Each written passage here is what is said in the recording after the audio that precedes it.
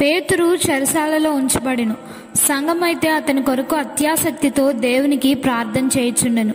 అపోస్తుల కార్యములు పన్నెండవ అధ్యాయము ఐదవ వచనం. పేతురు ఎందుకు చెరసాలలో ఉన్నాడు? హేరోదు ఆయనను చంపాలనుకున్నాడు. అప్పటికే యాకోబును అతడు చంపించాడు. అది యూదులకు సంతోషం కలిగించింది.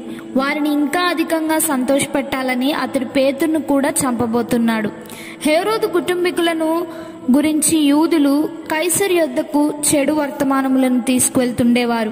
కనుక వారిని ఏదో రకంగా సంతోషపెట్టాలని హేరోదు ఆలోచించాడు. యేసు శిష్యగణము మూలముగా తమ సాంప్రదాయ భక్తి ప్రమాదములో పడిపోయిందని యూదులు భావించారు. హేరోదు తన చేతిని దేవుని సంగమునకు విరోధముగా ఎత్తి దానిని హింసించాడు. అతని అంతము అప్పటికి సమీపమైంది. ఒక మనిషి అంతము సమీపమైనప్పుడు అతడు దేవుని రాజ్యమునకు విరోధముగా మరి చురుకుగా పనిచేస్తాడు. అంతము సమీపించిన వానిని గుర్తించడానికి ఇది ఒక సూచన. ఈ పరిస్థితిని బట్టి పేతురు ఆందోళన చెందడం లేదు. మరునాడే ఆయన మరణ దినము కాబోతున్నది కానీ ఆయన చక్కగా నిద్రపోతున్నాడు. యేసుని వెంబడించాలని పేతురు ఆశించాడు. అప్పుడు పేతురు తనను వెంబడించలేడు. గాని తన సమయం వచ్చినప్పుడు మరణంలో కూడా వెనుక తీయక తనను వెంబడించగలడని ఆయన పేతురుతో సెలవిచ్చాడు. తాను యేసు కొరకు చనిపోవాలన్న పేతురు కోరిక ఇప్పట్లో నెరవేరబోవడం లేదు. ఆ రాత్రి వేళ ఆయన తనకు మరణము తథ్యము అని నిర్ధారించుకుని అందుకు ఇష్టపూర్వకముగా సిద్ధపడ్డాడు.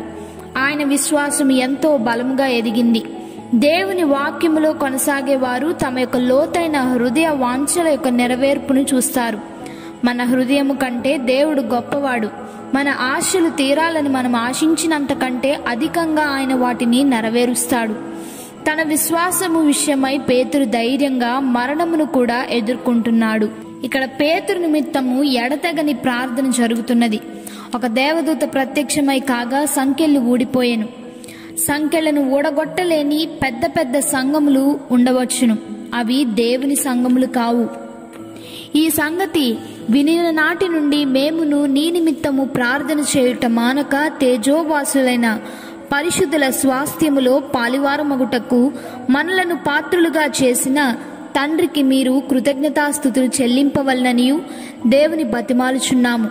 మనము మహిమలోనున్న పరిశుద్ధులతో పాలివారం అవ్వాలి మనం ప్రార్థన చేస్తుండగా గొప్ప సంగతులు సంభవిస్తాయి.